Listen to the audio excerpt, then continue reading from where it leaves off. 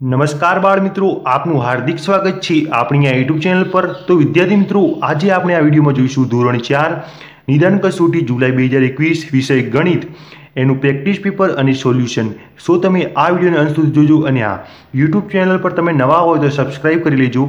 અને બાજુમાં પહેલાં બેલ આઇકનને ક્લિક કરી લેજો જેથી આવી યુઝફુલ વીડિયો અપલોડ કરીએ તો સૌપ્રથમ તમારા મોબાઈલના હોમ પેજ ઉપર નોટિફિકેશન મળે. અને વિદ્યાર્થી મિત્રો, આપને જણાવવાનું છે કે ધોરણ ચાર ગુજરાતી વિષયના નિદાન કસોટીનું પ્રેક્ટિસ પેપરનો વીડિયો અને એનું સોલ્યુશન મુકાઈ ગયું છે. તો જોયું ના હોય તો જોઈ લેજો. નીચે ડિસ્ક્રિપ્શન બોક્સમાં એ વિડીયોની લિંક મૂકી દઈશ, ત્યાંથી જોઈ લેજો.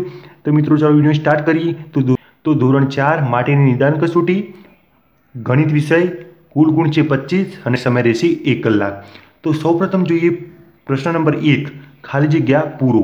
તો પહેલું છે, સડત્રીસ પ્લસ નવ બરાબર કેટલા? તો ખાલી જગ્યા તમારે જેટલા થાય એટલા લખવાના રહેશે, એટલે કે છેતાલીસ. ત્યારબાદ છે, ચાલીસ પ્લસ છત્રીસ, એટલે કે છોતેર. ત્યારબાદ ત્રીજું છે, અઠ્ઠાણું બરાબર. તો કેટલા? તો અડતાલીસ પ્લસ પચાસ, એટલે અઠ્ઠાણું.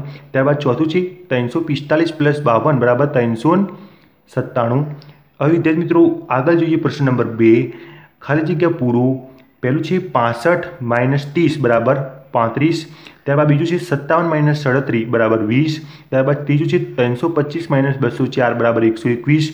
ત્યારબાદ છે બાદ બાકીના નીચેના દાખલામાંથી ખાલી જગ્યાનો બોક્સ આપેલા છે. એમાં ખૂટતો જે અંક હોય એ લખવાનો રહેશે.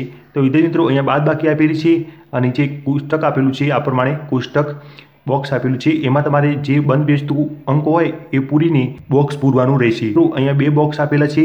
તો સૌપ્રથમ નીચે જીરો અને છ લખવાનું રહેશે અને ઉપર જીરો લખવાનું રહેશે ઉપરલા બોક્સમાં અને નીચે જીરો અને છ લખવાનું રહેશે. આ પ્રમાણે તમારે લખવાનું રહેશે.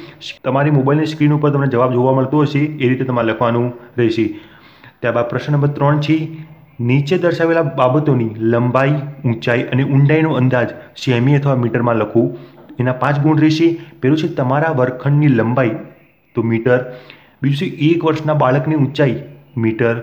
બારણાની લંબાઈ, મીટર. કૂવાની ઊંડાઈ, મીટર. પાટિયા પર લખવાના ચોકની લંબાઈ, સેમી. પ્રશ્ન નંબર ચાર છે પહેલું ખુશ્બુ રૂપિયા એકસો પચીસમાં શર્ટ ખરીદે છે અને રૂપિયા એકસો પાસઠમાં પેન્ટ ખરીદે છે, તો તેણે કુલ કેટલા રૂપિયા ખર્ચો કર્યો?